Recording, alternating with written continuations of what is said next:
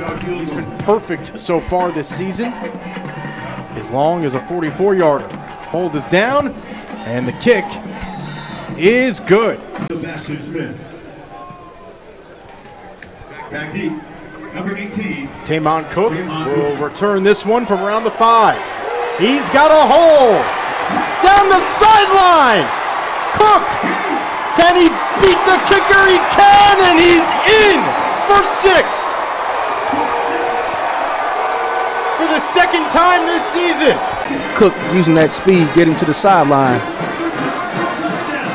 winning the foot race all the way to the end zone. Oh, Owen Daffer will come on for the extra point. Off of PAT, number 41, Owen Dapper. Hold this down, kick. A&T bringing pressure. Watkins flings it down the sideline. He's got Sanchez. Green grass in front of him and in for six. Connor Watkins pass. and a- 39 yard field goal.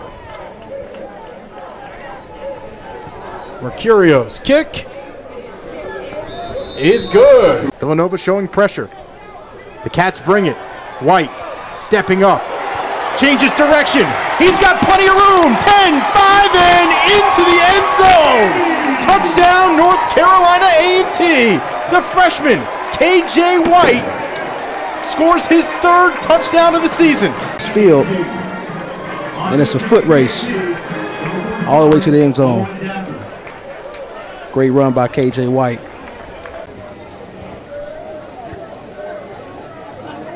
Barley.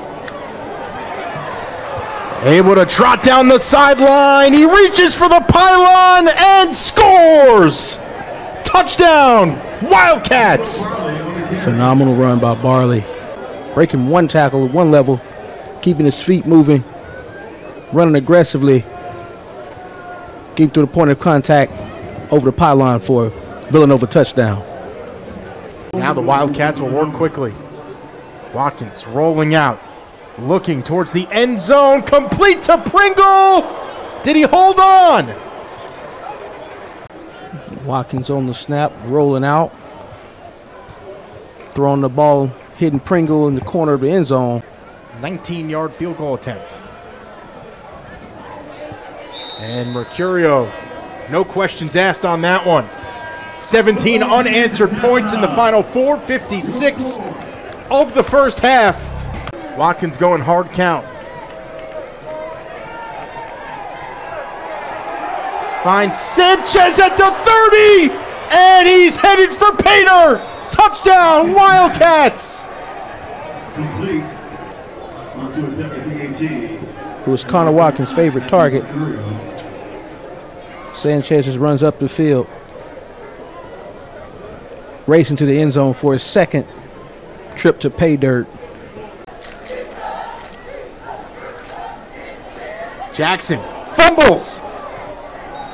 A&T says they have it, and so do the officials. Fumble on play. So much for the no turnovers by Villanova. Vincent Brown making his way to go shake hands with Mark Ferrante.